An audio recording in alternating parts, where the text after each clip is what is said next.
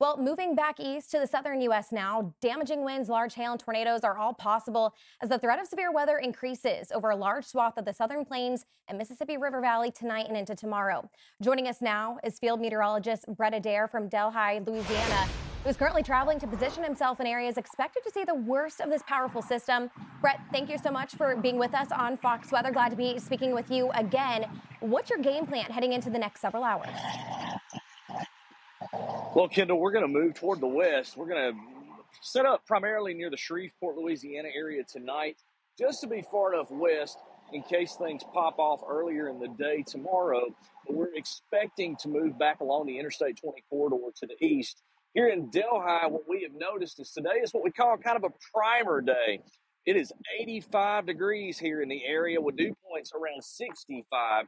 So we're definitely moistening up already in preparation of this storm system that's going to eject out of the southern plain states and the southwest and move into the lower Mississippi Valley tomorrow afternoon and tomorrow night of uh, tomorrow morning, where are you expecting to kind of begin the day? And then obviously you'll be chasing throughout the remainder of the day on into, you know, uh, Saturday if you have to. Where, where do you think that the worst of the weather will be when you wake up tomorrow?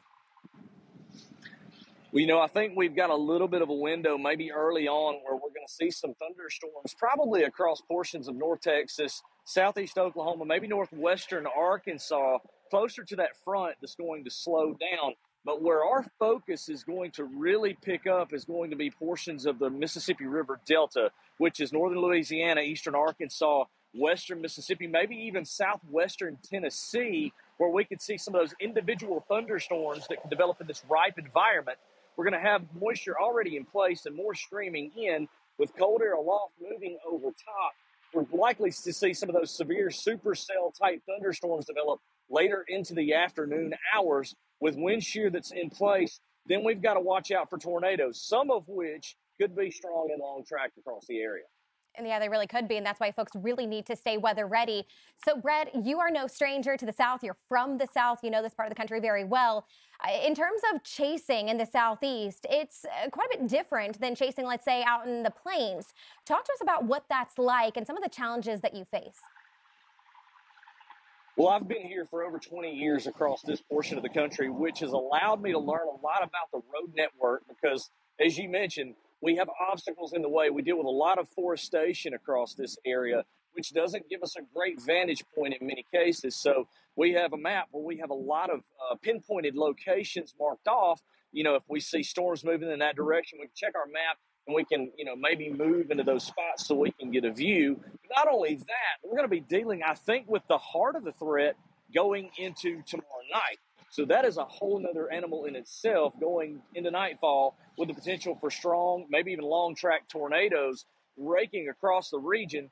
Then you have to then think about, you know, areas where there's populace, where there is uh, lighting, maybe some light pollution, where you can get a vantage point of the cloud structure, the cloud deck. And unfortunately, we have to watch for power flashes at that point, which means the tornado is likely do a damage. But those power flashes give us that visual clue as to if we have anything on the ground. So, as you mentioned, most definitely the Deep South is much, much different than the plains. One thing I can say portions of the area under the most enhanced risk tomorrow are a little bit flatter. They're along the Mississippi River itself. There are some flat areas in the Delta that do allow for a vantage point without so many trees. So, you know, that's one thing that we can say. And a lot of larger population centers are not in the center of the bullseye yet. However, Jackson, Memphis, Little Rock, Shreveport, Monroe, you're all under the gun and you need to be taking this threat very, very seriously. Yeah, you do. This is a very serious situation, especially as we are just at the very beginning of our spring severe weather season. And the work that you and every other storm chaser does to provide us that vital ground truth, it's just uh, invaluable. We really need that. So thank you so much for all of your hard work. We'll be thinking of you over the next several hours. Field meteorologist Brett Adair, we appreciate you coming on the show this afternoon. Thanks, Kim. I'm Amy Freeze. Welcome to Fox Weather's YouTube page. We have more great videos on the way, so make sure to subscribe to stay updated on all things weather.